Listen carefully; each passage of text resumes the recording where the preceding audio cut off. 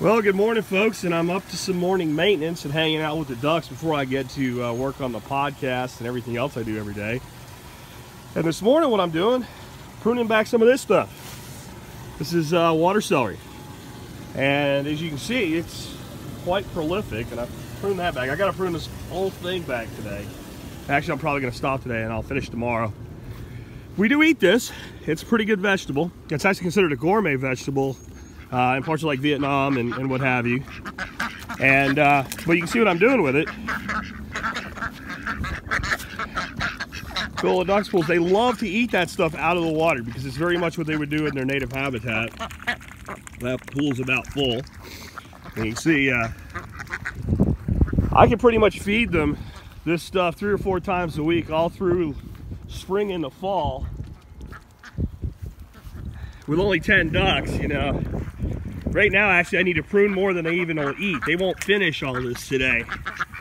But, uh, ah! Water celery overboard!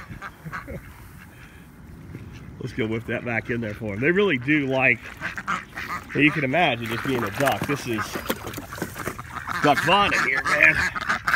Here you guys go. Oh, get it. So, I figured I'd also catch you up on where the aquaponics systems are. So these are all wicking beds to drain back to this 300 gallon tank that's in here. It's got two 50 gallon ebb and flow beds. And uh, I've pretty much made a decision that I'm gonna grow mostly onions and celery in these ebb and flow beds. It does really good. These are just store-bought uh, green onions we stuck the tips down in.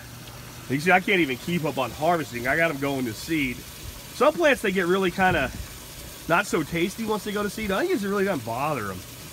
Uh, we'll be able to cut that. It'll look like a leek instead of a green onion. But right now, I decided to go ahead and let these guys go to seed, let them flower, see what pollinators it brings in. I mean, it's really easy to, uh, to replant that. And then the celery, not the water celery, the celery celery, these are just celery hearts from store-bought celery, instead of cutting the base off the celery, pull the outside, leave, you know, four or five small stalks, that celery heart, drop it in an ebb and flow bed, and off you go. So we pretty much have all the celery you could want. Now this is going to be really great celery for eating on you know, peanut butter on it or something like that. It grows thinner stalks and they're bright green, but they have incredible flavor. And then the leaves, you know, I don't know why, but in our country, we don't see the value of the leaf of the celery. Fantastic in stir fries, fantastic in salads. Now, I wouldn't want to eat a celery leaf salad, but let's say maybe 10 to 15% of the green mix being this. Absolutely, and we're getting to that time of year where I'm going to be able to make, you know, a celery salad with some wild arugula, because I got arugula growing wild all around here, lamb's quarters, nasturtiums. My salad time of the year is coming up in about the next 30 days.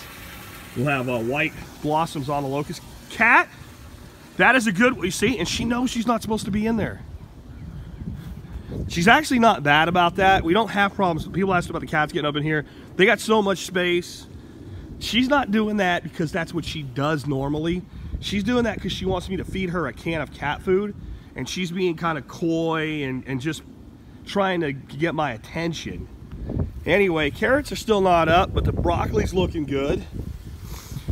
This is going to be a Jerusalem artichoke uh, bed. You can see the Jerusalem artichokes come up. Learned something here. Last year, about May, I guess, maybe June at the latest, I ordered some Jerusalem artichokes. And I ended up not having a place to plant them. I thought I was going to have a place and I didn't. And I just left them in the refrigerator over the winter. And I was sure when I opened them up, they would be all leaky and weepy and nasty. Uh, they were packed with damp paper towel, in plastic, wrapped up really good in a box. I never opened it. When I pulled them out, they felt like they might be a little bit lighter than you'd expect, like they shed some water. I dropped them into this bed, and almost every one of them has come up. So we will have, this thing will literally be full of artichokes. I bet you will get, you know, 50 pounds, maybe 100 pounds of artichokes out of this one bed. Uh, a lot of people say, why plant a plant like that in something that's like this intensively managed? Because we can, and because of the fact that I don't have to worry about this becoming invasive on my property if it's in here. And because what's going to happen is as these guys send out runners and they set their tubers, they're going to hit this wall. And it's genetically in them that when they hit an obstruction, they stop there and they set a tuber. That helps them actually displace plants. That's how they compete. So they'll go out and they'll hit something, let's say an asparagus crown, and they hit that. And they'll set a tuber right underneath that asparagus crown. And next spring, when that tuber sprouts, it'll blow that other plant right up out of the ground. That's how they spread. But when you put them in a container like this, I learned that from Dave Jacke, you end up with almost all of your tubers set on the outside. That way you can just reach in and pull them out and just let a little bit stay in there and it'll come back every year and you'll have them forever. Uh, look garlic chives in here. We're gonna try basically um, sort of a Three Sisters type garden. What I'm gonna do is once this stuff gets up, I'm gonna prune out the understory a bit. We'll put some beans up, some pole beans up onto the Jerusalem artichokes, which should grow about six to eight foot tall. So, you know, you're talking, they're gonna be way, way up there because they're already, what, three feet off the ground. So that's what's going on in this bed. Over here, might as well go see the aviary and everything today, right? Lettuce, spinach, etc., just looking good. And uh, except for that one plant, just not making it. Everybody else looks good. Corn starting to pop up. Yeah, corn. Are you crazy, Jack? Well, I'm crazy. That's not crazy because I'm planting corn, though. Um, this will be a small 4x4 block of corn. It's a golden bantam corn. The ears only get, you know, about a little bit bigger than that, you know, about eight inches. And, uh, well, that'll be our one little corn yield for the year, and it'll success into something else. I also have peas coming up in here and some other stuff. Cruising on over here, you can see uh, I was on water celery cutting duty yesterday here, and it'll be like two weeks, and this will be completely grown back in. Um, the salvinia and duckweed made it through our winters. They didn't look real happy, but it's alive and it's coming back. And I attribute it to these. These are uh, 250 watt stock tank heaters. They come on at 35 and go off at 45. I had one in each of the top tanks in my aquatic system plugged in and that was enough to keep the entire system. Of course, again, those that are new, these three 170 gallon tanks overflow into that 470 gallon tank. And that's that overflow right there. It's a pipe that runs under the ground. And the height of that pipe right there where you see that water coming out, that sets the level in that tank. That pipe there sets the levels in those tanks. Very, very simple, very, very passive. One small pump draws 87 watts sits down here, pumps the water up to there, constant circulation. My big giant comet goldfish are kind of shy, so they just all scooted up under there, but they have been breeding like crazy. More water celery, uh, reeds. We got water chestnuts starting to come up. We're growing edible foods in these little aquatic systems. Got pickerel weed coming up there. Uh, not much in this one. I'm keeping this one down for this year because I still need to get in there and I, all this pickerel rush that's coming up, I need to get that cleaned out. I need to do that. I don't know when I'm going to get it done, but it's going to be overgrown. There's so much that is spread out. And I got that new pond coming right there the end of next month. So what I want to do is make a bunch of plants out of this one for the new pond. So we're now using one pond to propagate plants for the next pond. These little beds, I, I you know, I want to get rid of them, but they're not hurting anything, so just let them be. Everything in here is volunteer from last year. We got dill, we got carrot. That's cilantro. I just saw that pop up today. We got some uh, garlic chives, we got Swiss chard. Everything in here is just uh, coming up. But What I don't like about these, and where I tried to make them, these are the 21 gallon concrete mixing trays. Set them up as a standard kind of uh, wicking bed with a very small amount of space down here what happens if you let this run continuously, eventually it clogs and it, it, floods out and it's just too shallow to do a good wicking bed in. But if you come out once a day, run water through them until it comes out the bottom and shut them off, they do a nice job of growing little greens and stuff like that and that's what we'll use it for. So we'll let those be for this year. Let me get my coffee. We, uh, we will not check out the Miyagi pond today we'll call it short of that. But we are going to go back and see how the aviary is doing because I know in my last video, not my last video, my last video before my last video, one video ago, I had just planted peppers in here and they were pretty small, scrawny plants. It's only been a week. The wildflowers, man, I love this time of year.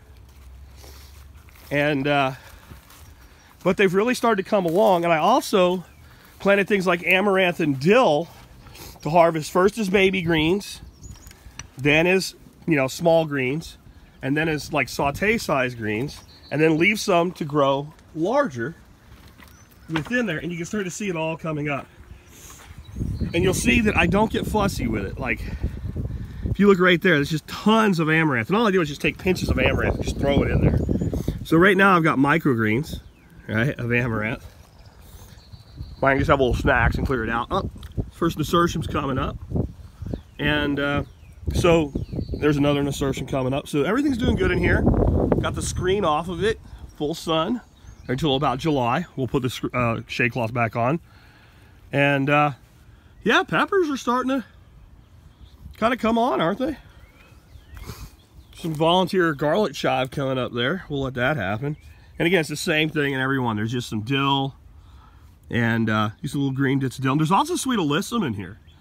So I'm going to try to kind of carpet all of the understory with sweet alyssum this year, uh, which is a flower, just a pretty flower, and do that to bring in more pollinators.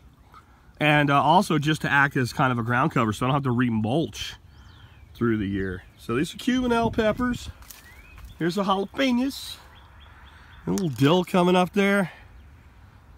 One tomato in the back. Tomatoes are starting to look like starting to come around. So, you know, these guys were in pots.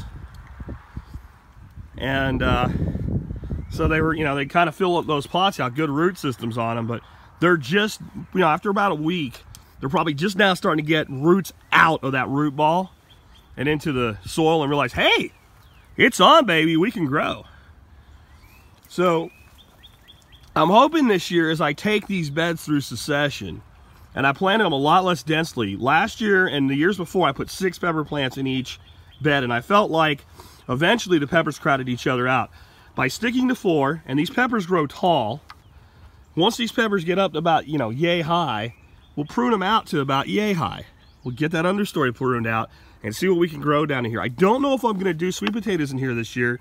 Maybe not at the level I did last year. There's just, we can't keep up with the growth and eating them, and I can grow all I want out of the pond, so maybe we can get more, uh, more of a yield out of here, some more high-end stuff, because the beauty about this place is everything's protected. We can't have any little critters coming in here and eating them. Uh, Insect-wise, it's kept down a lot because these guys here, our quail that live in here, they're really good about eating bugs and insects. Not everything, but certainly we have less insect pressure here than you would anywhere else on the property. And uh, yeah, another nasturtium. These nasturtiums all came up last night, so that's one day because I was in here yesterday and there, there was none of them sticking up. I got a little heavy-handed with the uh, amaranth back there. But see, that's the thing. It'll just grow to like a baby green size, and I'll get a beautiful salad out of that, and I'll leave some behind. Same with the dill. You know, we'll, we'll take some of the dill really small. There's a bunch of dill in there. And, uh, you know, you can always pluck out some for microgreens or whatever, but I'd let them get a little bit bigger to a baby green size, and then leave some behind, because this is just, you know, it's, it's stupid cheap to plant plants like this. Now this is kind of a higher end amaranth, this red amaranth. Let me give you a secret. You want to plant a lot of amaranth for greens. Go to like Whole Foods or any place that sells organic. They sell bulk amaranth by the pound. Buy a pound of bulk amaranth for like $3. You'll be able to grow amaranth greens for yourself for a whole season and then some if you really want to. If you let them get up, you know, about that big. Uh, they're going to be green. I've never found any that are red like this uh, in that bulk pricing.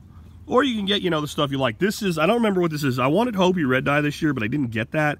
This is another variety of amaranth. The seeds of this variety are actually like a golden color, but the plant is red. The Hopi Red Dye, the seeds are like a black. I should probably still get some of that this year. But uh, again, cherry tomatoes in the back. I found that they do the best for us in our climate over full-size tomatoes. Uh, that one there has got blossoms on it. And I got to decide. See how little that plant is? Do I want to be greedy? Do I want to pinch those blossoms off and put that plant all into growth? I think I'll let that one go and I'll pinch blossoms off the other ones. A little comparison shopping, so to say. See what happens. We got to decide what we want to do with our bees, our uh, mason bees. Put those two houses in last year. Tried to put mason bees in them and the fire ants went in and killed them. I'm thinking about setting a 4x4 somewhere on the property, probably cedar, because it'll last forever, and putting them up on it with some sort of a block to keep the daggone fire ants out. They give you a chemical attractant to spray in here when you release your bees to attract them. And it, I found out it's like fire ant candy. As soon as I put it in there, the fire ants went straight in there. So Uh, we got to figure out what we're doing with that this year. Other than that, things are looking good, huh, Quails? Want to take a quick look in the greenhouse? Hey, what are you doing, bud? All right, let me uh, tell you, we're not to look in the greenhouse today. We're out and about. Let's go ahead. I know we said we weren't to do it. Let's take a walk over the Miyagi pond because I want to talk about this new pond that we're building, what we learned from the old one. In fact, you know what? Let me sign off. I'll do a, a, separate video on that. There's the cat running up the tree. I told you, man, she's trying to get me to feed her. We'll do another video. We'll put them out back to back, and we'll uh, take a look at the Miyagi pond today. Love spring.